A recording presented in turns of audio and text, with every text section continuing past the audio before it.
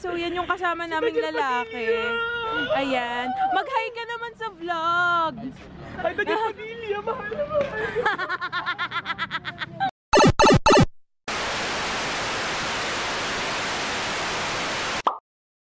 So, di kami, ang dami namin. Utak dito sa pagkain. Hello, guys!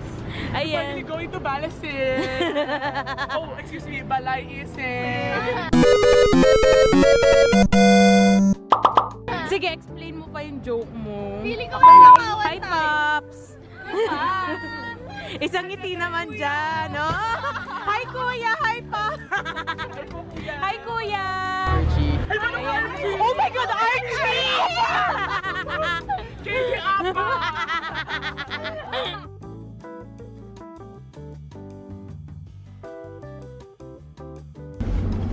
Ayun na nga po mga kapamilya. Kapamilya, we're now in Batangas City and now, mga kapamilya, eh napaka-peaceful. This It's so creepy. It's like America's Horror Story. Diretso lang. Straight lang. Straight lang daw. Wala pa kami kami ni Camille. Hindi na nga ano yun. Flashlight nyo.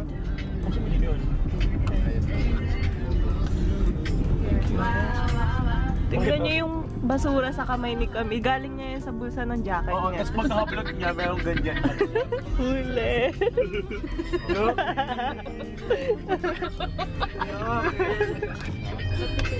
Ito po yung mansion nila Celine. Yes. At kami po yung mga alila. Yes. Kami mga pesa.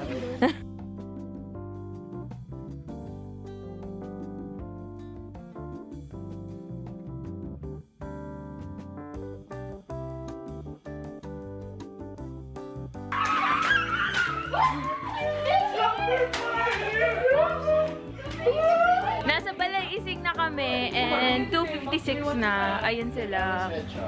Yeah, mag 7.30. Magigising kami ng 7.30. Siyempre, malamang late si Kat.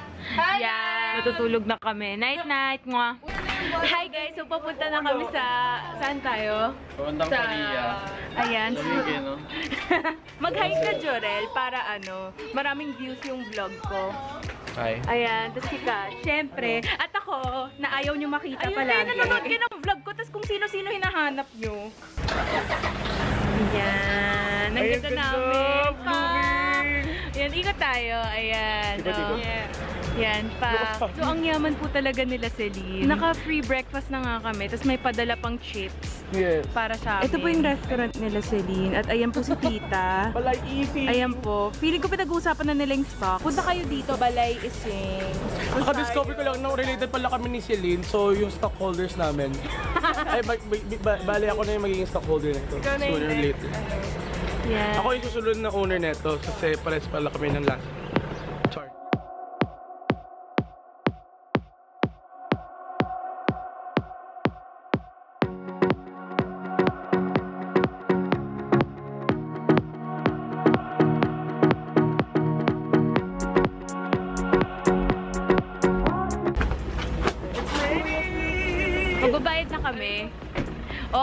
Magbabayad ako, hindi ako mangungutang. Palista po, Camille Bartolo. Uulan po, pero hindi, feeling ko... Sobrang suga pa niya, pati yung resort mapapalista ng mga kabayan sa nanay niya. hindi, hindi namin alam kung paano kami magsiswimming, pero siguro naman ma-enjoy namin. Yan. Bayaran na, Camille. Bayaran na. Dahil final countdown. Oo, mabait pala sa Celine. So,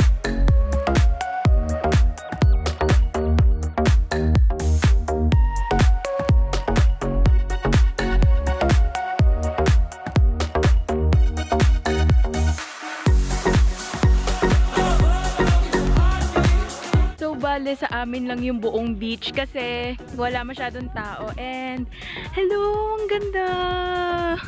Ganda niya. Teka, hindi ko na ifo-focus sa face ko. Pero, ayan o, ang ganda niya. Hee! Cambodia!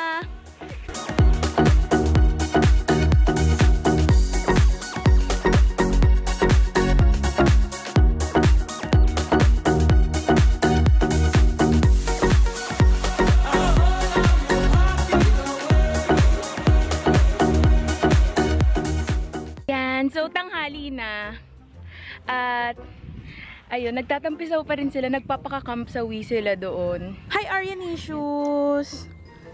Yan. Ang sarap. Kanina umuulan eh, tas ngayon maaraw na. O, diba?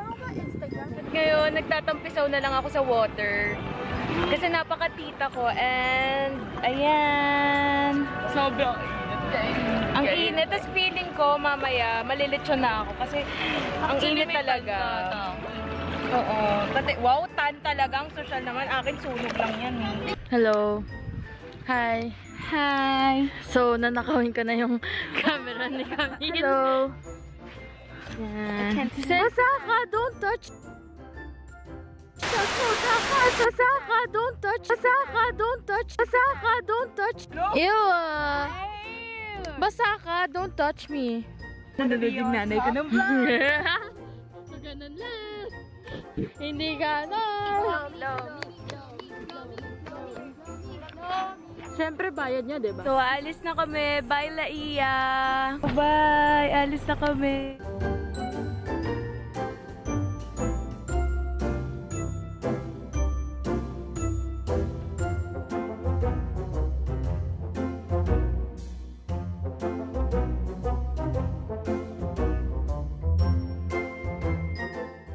Andito na kami yung parang sa mga Spanish houses.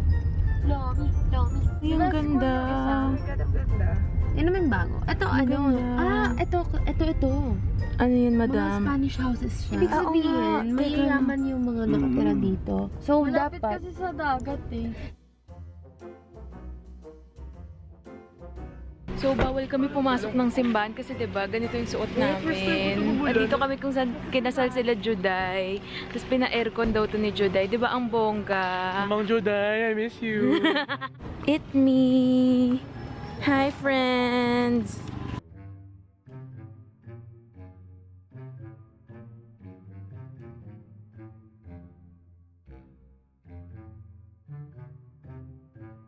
So, nandito kami sa lumang part ng Batangas. Tapos, yung ang daming... ay, an- ano? tayo. Nasa bayan kami. Dito yung mga old old rich na tao. Kasi, ano... Tapos yung basehan pala nila is pag malapit sa church, mas mayaman. O, di ba mas marami ako natutunan kay Mamang First time no? Pat? Pag first Bakla. time, wish ka. Wish ko magka-boyfriend ako. Ako wish ko sana magkapera ako bukas. Charot! Ala, ay sana magkaka-boyfriend na ako eh. So, dumating na kaming balay ising at pagod na kami lahat. Hi mga momshies! Ayan. Yun na naman si Kat. Siyempre, siya na naman yung nasa comment section, di ba? Hi, Ate Kat. Ang ganda niyo po talaga. Si Ate Kat talaga. Charot. Ayan. Ang ganda niyo po, Ate Kami. Charot. Walang nagsabi nun. Thank you, madam. Kakain na po kami. Bastos kinunan ako ng vlog. Bakit? Sorry po. Ikaw nga po pala yung may-ari. Ayan. Ayan. Thank you po, Tita Loida. We love you, Tita Loida. Happy eating mga sis.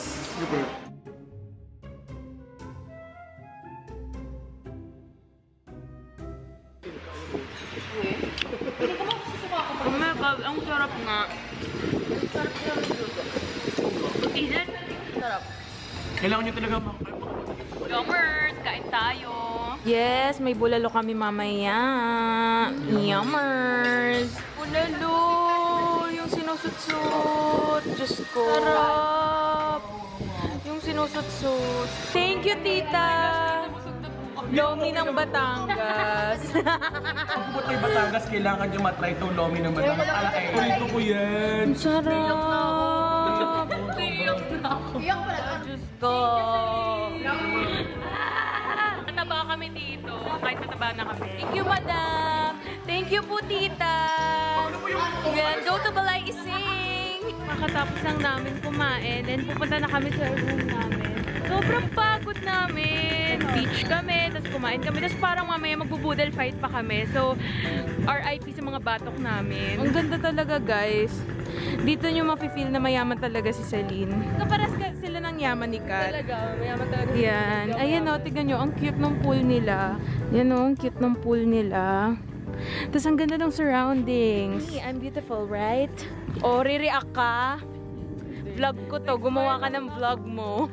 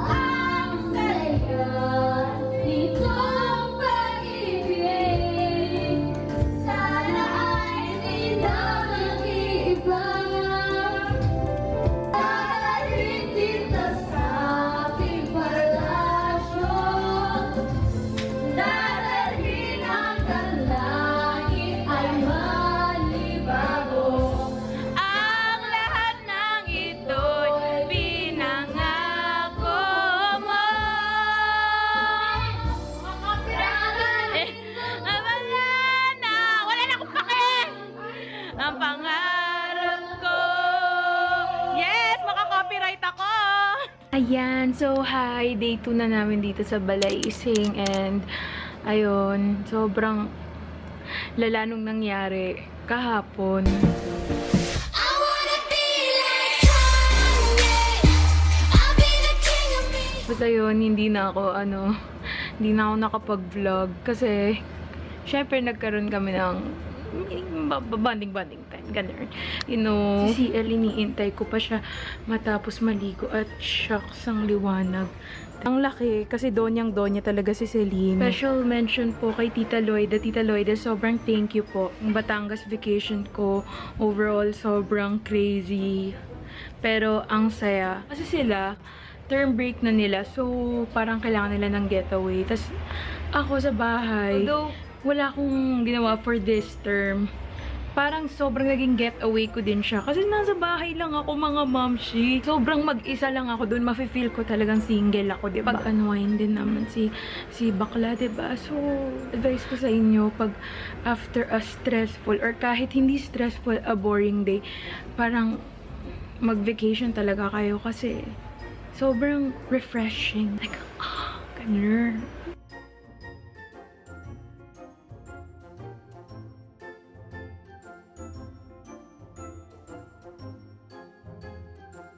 Alis na kami. Bye, guys. Hi, madam. Bye. Magbabay ka. Bye ka din. Bye-bye. Ma'am, magbay ka. Ga.